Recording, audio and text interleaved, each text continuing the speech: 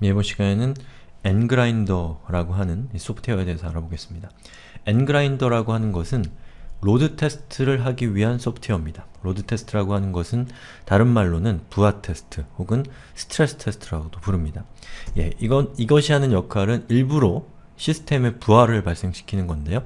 얼마만큼의 부하를 버틸 수 있는가를 평가하는 것이 load 테스트의 목적이라고 할 수가 있겠습니다. 자 그러면 이 세상에는 되게 많은 load 테스트 도구가 있는데 그 중에서 제가 소개해드릴 부하 테스트 도구는 ngrinder라고 하는 겁니다. 자, ngrinder는 NHN에서 제작을 한 오픈소스이고요. 이 오픈소스 부하 테스트 도구인 Grinder를 기반으로 작성된 이 오픈소스입니다.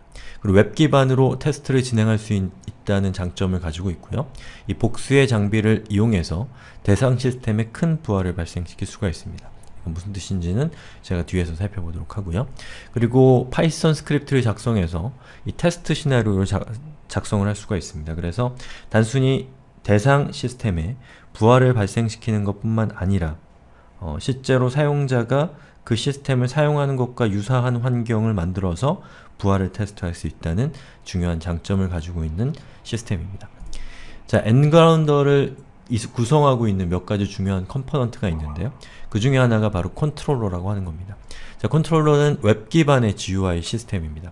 그래서 여러분들이 웹을 통해서 웹 인터페이스를 이용해서 부하 테스트를 진행할 수 있는 편리한 기능을 ngrinder가 제공을 하고 있고요. 이 컨트롤러라고 하는 걸 통해서 제공되는 중요한 몇 가지 기능이 있는데요. 첫 번째로는 유저 관리가 있습니다. 그래서 여러 사람들이 이 ngrinder 시스템에 접속해서 각자 가지고 있는 이 시나리오, 테스트 시나리오에 따라서 이 테스트를 진행할 수 있는 그런 이 multi user 기반을 제공을 하고 있는 시스템이고요. 그리고 에이전트를 관리할 수 있는 기능을 제공을 하고 있고요. 그리고 부하 테스트를 실시하고 모니터링 할 수 있는 기능을 제공합니다. 또 부하 테스트 시나리오 를 작성하고 또 그 테스트를 진행한 내역을 저장해서, 저장해서 다음에 열람한다거나 아니면 재활용한다거나 이런 것들을 할 수 있도록 도와주는 도구가 바로 컨트롤러입니다. 자 그리고 또 하나의 component는 에이전트라는 것이 있는데요. 에이전트는 이 부하를 발생시키는 어, 대상, 또 부하를 발생시키는 이 주체가 바로 에이전트라고 하는 겁니다. 그래서 이 에이전트는 컨트롤러의 지휘를 받는데요. 즉 에이전트가 실제로 대상 시스템의 부하를 발생시키는 것은 에이전트에 의해서 부하가 발생을 하는 것이고 이 에이전트가 동작하도록 시작 명령을 내려주는 것이 바로 우리가 앞에서 살펴봤던 컨트롤러라고 하는 겁니다. 여기 오타가 좀 있네요. 자, 복수의 machine에 설치해서 이 컨트롤러의 신호에 따라서 일시에 부하를 발생시킬 수 있다라고 되어 있죠. 즉 컨트롤러는 하나가 있고요.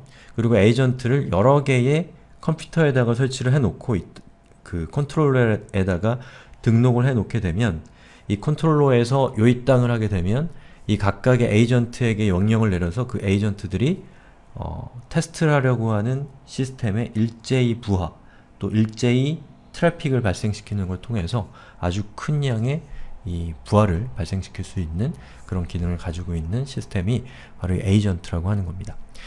자, 그리고 ngrinder를 사용하기 위해서는 몇 가지 미리 준비되어 있어야 되는 필요사항이 있는데요. 우선 자바 기반으로 제작된 시스템이기 때문에 cross platform이라는 장점을 가지고 있습니다. 그리고 자바는 자바 JDK 1.6 이상이 시스템에 설치가 되어 있어야 됩니다. Java Development Kit이죠. JRE가 2만으로는 되지 않으니까요. JDK를 꼭 설치하셔야 되고요. 그리고 톰캣 6 버전 이상이 설치가 되어 있으면 ngrinder를 사용할 수가 있습니다. 자 그럼 다음 수업에서 컨트롤러를 설치하고 에이전트를 설치하는 방법을 알아보도록 하겠습니다.